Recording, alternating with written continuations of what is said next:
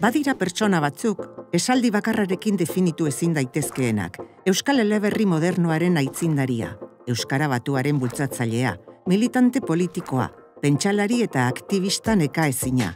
Hori guztia eta gehiago izan zen Jose Luis Alvarez enparantza, txillardekiko itizenez ezagunagoa dena. Nazioarteko korronte literario, filosofiko eta zientifiko garaikideak Euskal Herrira ekartzea zor diogu. Donostian jaio zen mila bederatzieun eta hogeita bederatzean familia burgez txiki baten baitan.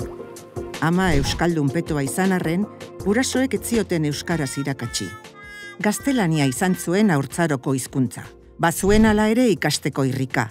Donostia erdaltzale eta errekeko jartan, aurtzarotik beretik sentitu nuen gure hizkuntza berreskuratzeko eta mintzabide bihurtzeko bulkada. Amazazpi urterekin eman zuen pausoa. Osaba gordetzen zituen liburuak ideari hartuta, Euskara ikasteari ekin zion.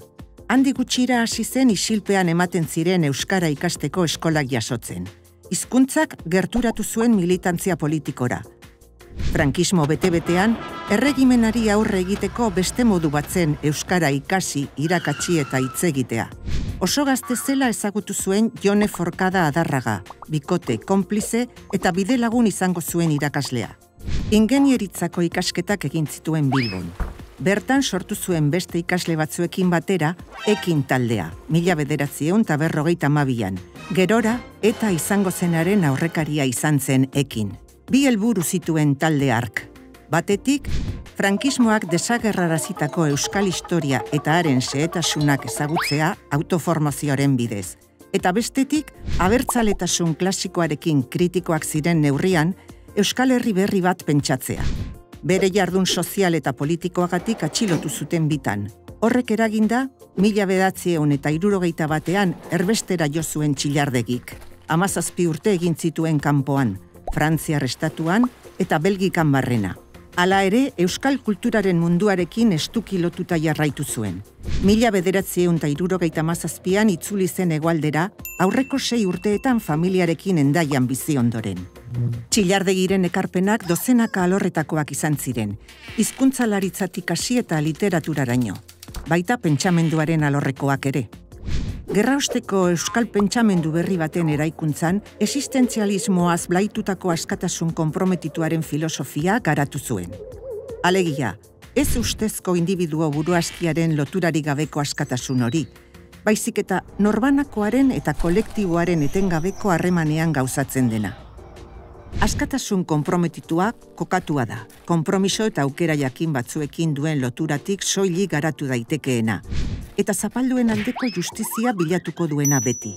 Dimentsio politiko argia duen askatasuna da. Ikuspegi hori partekatzen du txilardegik berrogeita maseiko belaunaldiko beste zenbait kideerekin. Ala nola, Jose Azurmendirekin. Berrogeita marreko amarkataren bukaeran eta irurogeikoan barrena, Euskalduntasun berri bat garatu zuen belaunaldi honek. Hauek dira haien oinarrietako batzuk. Euskaldun ez da jaiotzen, egin egiten da. Euskarak egiten gaitu Euskaldun, eta Euskarari gabe ez dago Euskal Herririk. Debekatutako hizkuntza bat, debekatutako gizatasuna da. Hizkuntza eta kulturaren dimentsio politikoa azpimarratu zuten. Euren arabera, hizkuntza baten egoera erabaki politiko batzuen ondorioa da, eta ez bere kasako gertakari bat. Forma eman zioten izaera politikoa eta kulturala barnebilduko zituen abertzaletasun berri bat. Eskubide individualak eta kolektiboak biak aldarrikatuz.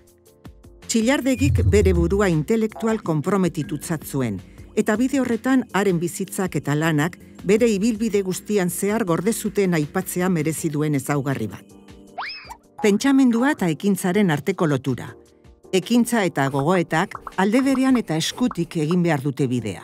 Pentsamendua emankorra izango bada, garaiko eta tokiko gizartearekin etengabeko elkarrizketan garatu behar da. Bide hori bi oinarri kontuan izan da egin behar dela defendatu zuen txilardegik. Bat, erradikaltasuna. Sustraira edo muinera jotzeko joera konstantea da txilardegirengan.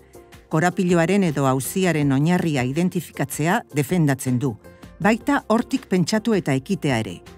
Moda guztietatik at eta kontra egotea suposatzen duenean ere bai, beharrezkoa bada. Bi, apaltasuna. txilardegiren lanean behin eta berriz agertzen den hitza da. Eta behin baino gehiagotan, bere beste zaletasun handi batekin lotuta ageri da, astronomiarekin. Izan ere, zerrobe izarrak begiratzea baino gizakiaren arrotasuna apaltzeko.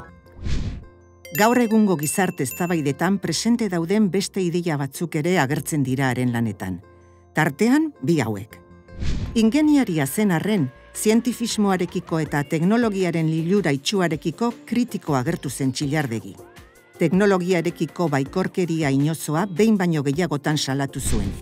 Teknologiak ezkaitu salbatuko. Bestalde, gizakia gizaberea da ideia oso presente dagoaren lanetan. Txilardegiren lanean, beste animaliekiko begirunea goiztiar agertu zen, oraindik ohikoa etzen garaian, Haren bizitzako azken zatian ere, zezenketen kontra posizionatu zen publikoki. 2008an hiltzen donostian, larogeita bi urte zituela eta arrasto ukaezin utzita. Mila bederatzion eta larogeita mazazpian, Durangoko gazte kulturguneak omenaldia egin zionean, bertako gaztei esandakoek oi hartzuna dute oraindik. Etzaitezte inoiz modaren morro izan, espiritu kritikoari eutxi iezaiozue eta zeuen buruarekin pentsatu beti.